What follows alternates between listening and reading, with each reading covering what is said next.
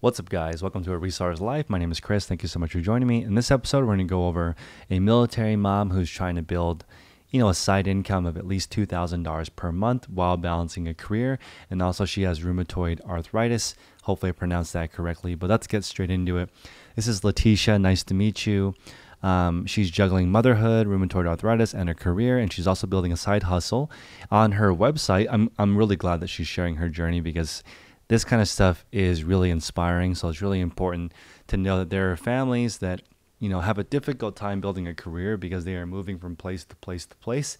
And I feel like not only is this really inspiring that she's building this, but this demographic is really susceptible to a lot of business scams like multi-level marketing people who are targeting this specific demographic. So reselling is not bs all you have to do is find stuff that's below market and resell it for close to what the current market is. That's it. There's no bs part of it. All you have to do is go find stuff resell it.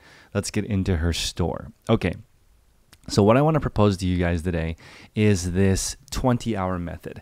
Um, this is pretty common. It's adapted from talking to my friend Ashley, Hustle at Home Mom. And also, as you guys know, 75% of my audience is women, uh, specifically people who are earning a side income. So, let's go over her store, which currently has 256 items in it. I think if you were to get into the habit of my 20 hour plan, which is 10 hours of listing and 10 hours of sourcing, I'm always going to recommend garage sales, online arbitrage, retail arbitrage, and thrifting in that order. If you only have 10 hours to source, spend the rest of the 10 hours listing the stuff. Roughly six items per hour is one every 10 minutes.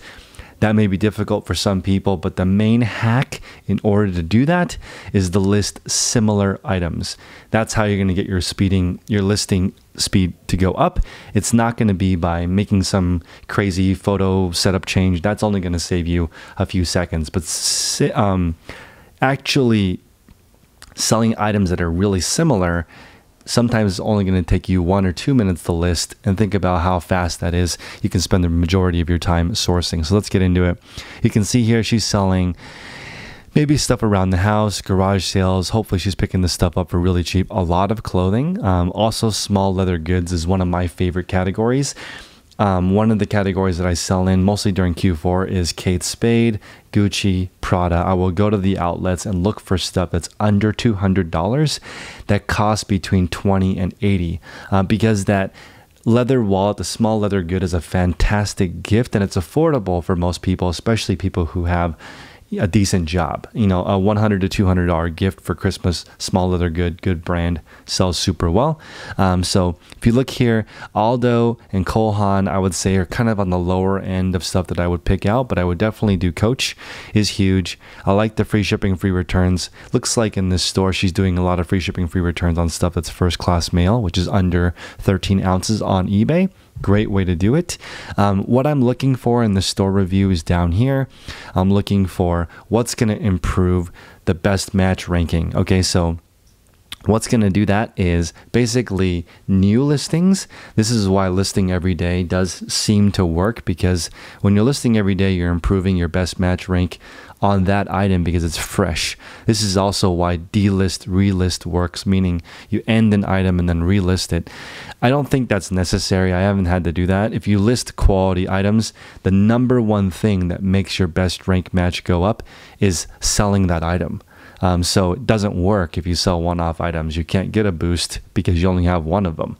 So you want to transition when you have extra time into learning about replenishables and stuff that you can sell over and over again because you're going to save time. You're also going to get a higher best match ranking just by selling it again and again. So in the 20 hour method, that's just going to get you this $2,000 a month extra income. I don't want you to double this and only make $4,000 a month income. What I'd like you to do is spend the extra time researching solds, not listening to other gurus online. Just listen to me and um, maybe a couple of other people on how to improve yourself. And then spend the rest of the time listening to the market. What does the solds teach you? Look for partnerships with people, wholesale, replenishables. That's what you need to spend the rest of your time on. That's why I recommend just spend 20 hours reselling and the rest of the time working on long term stuff. Okay, let's continue looking at our store. She might be doing some outlet shopping because Coach and Michael Kors are very, very strong.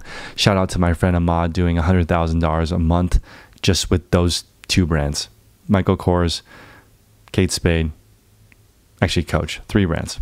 Um, that's a very competitive market with small margins. So I would say right off the bat, I don't know if these prices are competitive, but be very careful. There are really, really strong sellers selling similar stuff for basically a dollar, two dollars profit just to get that churn through their store, and they're making money off of uh, cash back on their credit cards. They're moving a lot of volume in order to get that, um, basically to keep the inventory rolling. Dead inventory will kill your business faster than any other thing. So you you can't list stuff that never sells. That hurts your space, hurts your mental real estate. Listing stuff that sells quickly for a lower margin, I always choose that above listing stuff in your store that never sells. That's going to destroy your store over time. So pictures are good. They're very clear. They're uncluttered.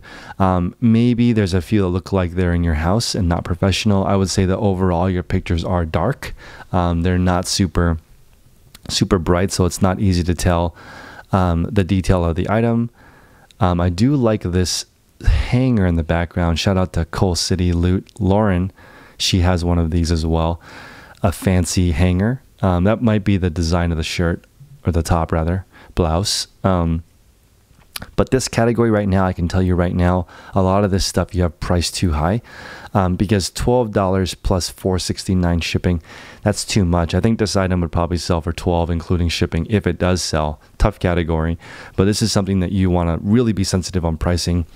In this category of just random mall brand clothing, twelve to fourteen bucks is the number that makes this stuff sell unfortunately. It's not very profitable, but you will move the volume if you lower your prices a little bit.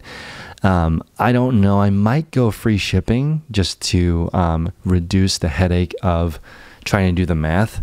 Um, but again, I don't know if you're using any tricks like multiple combined order discounts, maybe minimum $20, you get an extra amount off. I like that you don't have best offer on all of them. Like, for example, there shouldn't be a best offer on this $10 loft piece. Either I would just price it at twelve dollars free shipping. Um, there's no reason to lower it or raise it because there's there's just so many of these in the market. You need to find somebody with the exact need for a linen black shirt. I would say this wouldn't sell at all, but it is linen, so maybe do 12 to 14 dollars free shipping, then move on with your life. Don't go back in and continuously readjust stuff that's under $30 because it doesn't matter. It's not significant. If you have a really heavy, more expensive item, then of course it's worth adjusting. For example, you have some Jordans in here. Um, hopefully you can use the word Nike. Um, you might be restricted when you first start. Uh, also, if this includes the box, I would put the box in the picture. Let me take a look. Yeah, the because that immediately eliminates people's fear that it's it's fake. So immediately I would put in um, I would put the shoes on the box right when you get into it the, as the first picture so people know right away that you have the item in stock. A lot of problems with sneaker sellers is they're they're drop shipping or using the employee discount or something shady. So a lot of mall brands. Um, your titles look fine to me. You may want to add in um, the the gender as the second word. So Old Navy women's uh, instead of women's Old Navy. But again, that, that shouldn't prevent you from selling it. It's just if it's truncated, um, sometimes people they, they can only read part of the title, so it might only show men's true and have the religion cut off, and it's difficult for them to see what that is. So you want to have the brand be the first word if you can. Um, your pricing is definitely way too high. So the stuff that you're selling is is very uh, common. Um, I do like the use of a mannequin. It's just too dark. I love the backgrounds that you're using, very clear. You've got some home goods in here, great start. Um, but this is a very low sell through category of 5% if you're trying to sell it for, for market rate, which it looks like all these are priced on the high end. That's okay, but again, eBay is a buyer's market. People are looking for really, really cheap stuff, cheap, cheap, cheap. Nothing wrong with this store except for pricing for the main part. Um, and I'm not sure your list your your listing habit, but I would guess that based on the number of listings you have, you're probably listing one to five items a day. I really would like you to get to 50 per week. I know that's difficult, um, especially as a mom, and uh, she's probably working since it says on her website that she's balancing a career. Um, if you guys want to check her out, her site is um, tishalatisha.com, and it's the same name as her eBay store. She does have the branding here, so very smart lady. This is important to get the branding right. Let's see if we can pull it up. There we go. Here's the logo. This looks extremely professional. This looks like a boutique from first glance, which is great, gets people in the mood to pay slightly more. Um, this is one of those stores where I would not recommend doing a different store for clothing, hard goods, accessories. It's not necessary. Just throw it all into the same store because it's mostly pre owned. So unfortunately, no matter what you do, it's not going to look like a retail store if you have pre owned stuff. In fact, if you make all your pre owned stuff look brand new, you're probably going to have tons of returns because people are going to be expecting brand new, even though it's not. So I think this is perfect for a, a pre owned boutique. Just keep it the same. Um, Burberry, Michael Kors, all of this stuff has an outlet version. So I, you know, again, you're competing against people who are selling brand new stuff that's outlet quality, and a lot of buyers don't know the difference. So you might be asking $20 for a loft item right here. It might be $20 at the outlet, which makes it difficult for the sell through rate. Um, looking at your sell, your sells, it looks like um, with 254, you're selling maybe 10, 5 to 10 items per month on this, which is a relatively slow sell through rate. So the main thing right now is going to be lowering the prices, slashing, getting some cash flow coming in so that you can finance the next set of items in your store.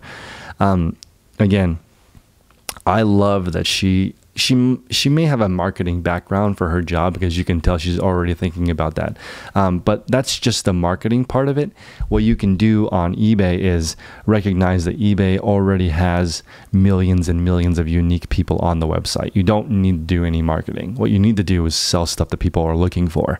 So that's why I'm going to pitch in every single one of my videos now that the mentor that you're looking for is actually the eBay solds. You can tell when you start looking at Coach just how many Coach wristlets sell, how many Kate Spade wristlets sell, what colors sell well, what sizes, what dimensions, what time of year. All of that matters. The less categories you sell in, the more more successful you are usually because you're just more keen to this. Um, I get the questions and the emails coming in pretty frequently that say, "Chris, how do I know that I'm not wasting my time?" That's kind of a frustrating email to get because the you should know when you're buying something how long it's going to take to sell. Otherwise, you kind of have no business buying it. You need to at least be able to estimate how long it's going to take to sell. Now, if you're always wrong, you need to spend more time in the solds. For me, I'm usually pretty accurate. I get an idea. I, on my spreadsheet, I have a column that says, What do I think it's going to sell for? And for me, since I'm constantly adjusting my listings, I don't have stuff really that lasts all the way to 90 days. It's selling faster than that. And I would say with about 75% accuracy, I can tell you within a month how long it's going to take to sell and around what price. And that's not my personal knowledge. That's just from me looking at the solds, which is looking at the last 90 days sales history, seeing how many sell, and just making an educated guess on how long I think it's going to tell don't put in an email to me, I don't know if I'm wasting my time or not. You are wasting your time if you're sending that email. You should have some idea. The better question would be Hey, Chris, I'm looking at this pair of sunglasses I bought. You know, probably 10 sold in the last month. There are 10 available for sale. I think this is going to sell within 90 days. What do you think? Then I can actually go into the market and get an idea of whether or not I think you're right or not. If you're just saying blanket statement, I have a hundred items that are all different. Do you think I'm wasting my time? Yes, I do think you're wasting your time because that's impossible. I'd have to individually research all 100 of those items to find out if you're doing a good job or not. And if all 100 of your items are different, for sure you're not good at any categories. You're just looking for what's cheap and that's an okay to to do your business, okay way to do it. But again, you're not going to realize these little nuances in the market that are going to help you crush your competition. So hopefully that's useful, guys. If you want to review, they're at patreon.com slash daily refinement. They're 35 bucks. Um, the more specific you are in your questions, the more I can help you. So I'm going to have Letitia um, reach out with more questions because I didn't get enough background from her to give her more specific advice, but I was able to give you guys the overview of what I'm looking for in a review. So the more specific your questions are, the more helpful I can be. Um, it is something that I offer. Again, I also will give you advice for free if you email me at chris at dailyrefinement.com. It's just going to take me longer to respond, and I'm pretty much just ignoring the ones that say, "What am I doing wrong?" That's not specific enough. I don't know. That um, you know, if I don't respond, that means that your questions are not specific enough, and I don't know how to help you um, other than work hard and pay attention to the market is the only advice I'm going to give to people who just send a generic email. You're going to get generic advice. So I appreciate your guys' time. Hit the like button, subscribe if you enjoy this information. See you on the next episode.